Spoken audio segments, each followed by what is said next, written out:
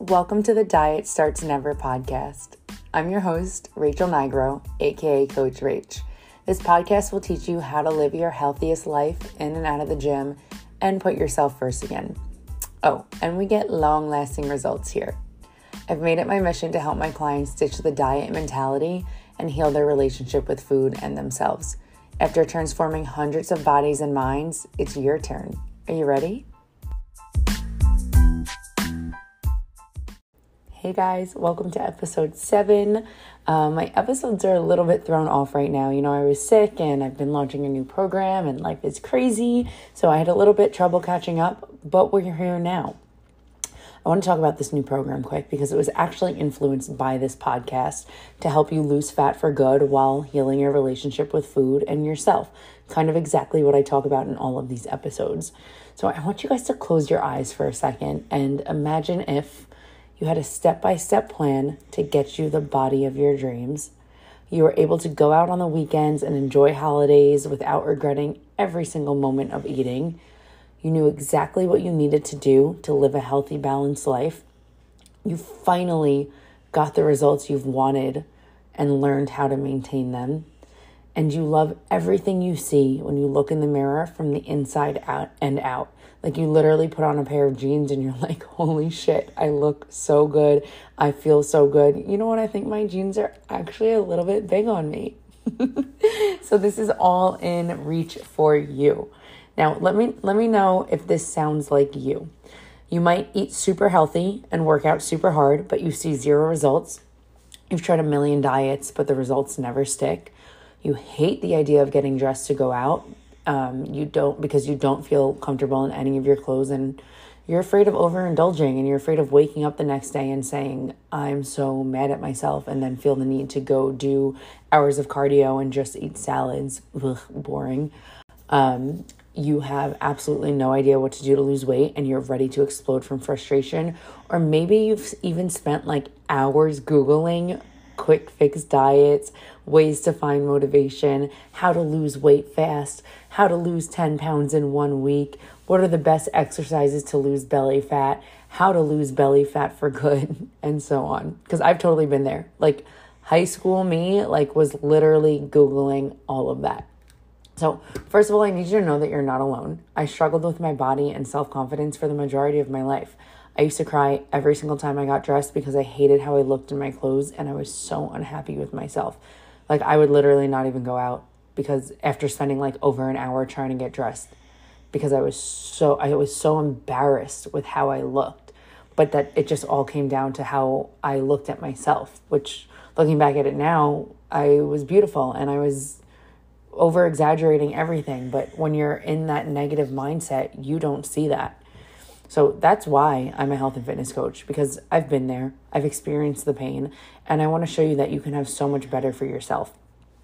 The Diet Starts Never program is not only my most affordable program ever, but it is an accelerated six week program that teaches you how to get healthier than ever through customized fitness and nutrition coaching so you can finally get the results you've been chasing your entire life. So basically, it's a program that will help you ever help you execute, excuse me, everything I teach in this podcast with me as your coach, paving the entire path for you. I'll provide you a restriction free macro plan, easy to follow workouts, educational guides, and live coaching calls to educate you on all things sustainable health and fitness, plus messaging access to me, which I will be your greatest asset on this journey and in this program. If you related to any of this, you are in the right place, not only for my program, um, which is going to help you change your life, but for this episode, it's going to be an eye opener. I have spent years learning what works, and I've made it my job to show you how to do the same. I have the solution you've been searching for, and I've been helping my clients get the results you've been wanting. I'm not even kidding, you guys. Like every single day, I get messages from my clients telling me things like, holy shit, my pants are too big on me. I'm proud of myself. The scale doesn't matter. I don't even care what the scale says. My progress photos look so amazing. My stomach is smaller. My booty is bigger. Ooh, ooh. Thank you for helping me get my body back, and you've changed my life. I'm here to help you get the same results and say the same things. So let's get into this topic of motivation today. Motivation won't get you shit. I am all about the tough love because let's be real, you're not going to give it to yourself. You're struggling and making excuses like, I don't have time, or I don't deserve this goal, or even blaming your lack of results on others. The blame game is over. No one else is ruining your progress but yourself, and you need to stop feeling sorry for yourself. Motivation isn't going to just appear out of nowhere. You need an alternate solution, and that is discipline. People often think that discipline and motivation are interchange- interchangeable, but in fact, they are very different. Motivation has two parts to it. The first is a feeling. Motivation is a feeling or desire to do something. You know, when you're scrolling through Instagram and you see a fitness influencer with the body of your dreams, you might feel like a sudden inspiration or willing willingness to go work out or eat something a little bit cleaner. The second part of motivation includes your why or the reasons behind why you've set your personal goals. Discipline, on the other hand, is action it's not just feeling motivated or remembering your why or getting a quick magic wand of fairy dust spilt over you. It's getting out there and doing it. Self discipline is defined as the ability to control yourself and make yourself work hard or behave in a particular way without needing anyone else to tell you what to do. It all comes from within. So, in other words, self discipline is a commitment to yourself and it involves following through on that commitment, even when it's hard. Motivation is fleeting. It may be high one second and drop the next. It comes and goes. But discipline, that's the shit that keeps you going when motivation runs out. Think of, of it like motivation gets you going, discipline keeps you growing. Discipline works like this you don't want to work out? Too fucking bad. I'm doing it anyway hit your macros already but feel like snacking because you're bored? Absolutely not. I already hit my goal for the day, and I know if I go over that, that's not going to help me reach my long term goal. It's raining on a Sunday and I don't want to go to the food store. well, that sucks. We're going anyway because this is how you chose to live your life. Discipline helps you live the life you want to live in moments of weakness. It helps you maintain a healthy routine and habits. It helps you build the body you've been you've always wanted and it makes it so you don't need anything to motivate you. If something motivates you, that's a bonus because your discipline has already got it covered. When motivation sparks, let's use it as a booster. Like you're playing Super Mario and just got a mushroom, a super mushroom. But the super mushroom will only get you so far. You can only be that large for um for a limited amount of time. You still have to survive when that power up powers down. So learn how to power up on your own. And that's how you're going to be successful at anything you do, not just in health and fitness. I truly think discipline goes hand in hand with consistency. You can't, you kind of can't have one without the other because what's the point of being disciplined for one moment? Nothing. You need to practice that discipline over and over again through consistency. Consistency is arguably the most important component when working to accomplish goals in or out of the gym. Without consistency, programs are unorganized. The body has a harder time adapting and forming habits, may be more challenging. There is a 0% chance of reaching a fitness goal if you're not consistent. That's why you see so many workout programs with the same workouts every week because your muscles need that consistency of repetition to grow and change. You need to hit your macros consistently. You need to give your body the same nutrition, the same calories in versus out consistently to lose fat, and vice versa if you want to grow and gain a significant amount of muscle. Disciplines repeated with consistency every day lead to great achievements gained slowly every time and over time. Dreams get you started, but your actions, consistency, and discipline are what get results. I always tell my clients that a dream is just a dream if it's not written. If you have a goal, write it down. Plan out how you're going to get there. If you don't have a plan, you're going to fail. So, I want to give you guys some steps to build discipline in health and fitness. Three steps.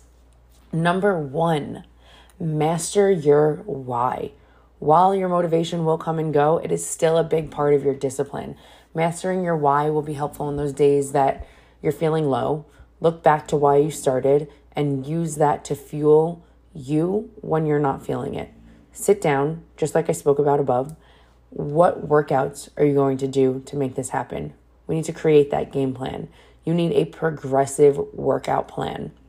What are you going to do when you hit a wall? What are you going to do when those 10 pound weights begin to feel easy? How are you going to progress from there? How are you going to continue to change? How are you going to eat to reach this goal? What's your nutrition going to be like? I'll tell you right now, you cannot just wing your nutrition and eat as you go. A nutrition plan is necessary, especially because results are 80% nutrition. You cannot out train a bad diet. Nutrition comes first, fitness comes second. What are you going to do when you hit a bump in the road? How will you know when you reached your goal? What will it feel like? What will it look like? What will you look like? How will you feel when you've reached this goal? Write down every single detail and create your life. Manifest the fucking shit out of your dream life. I do it every single day. I make a very clear picture of what I want for myself. And guess what? I have it because I've taken the time to sit down and write it out to create that game plan.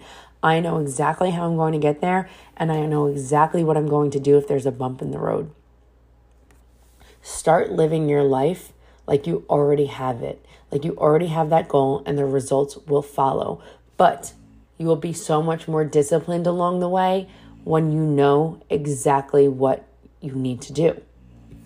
All right, next Eliminate those excuses.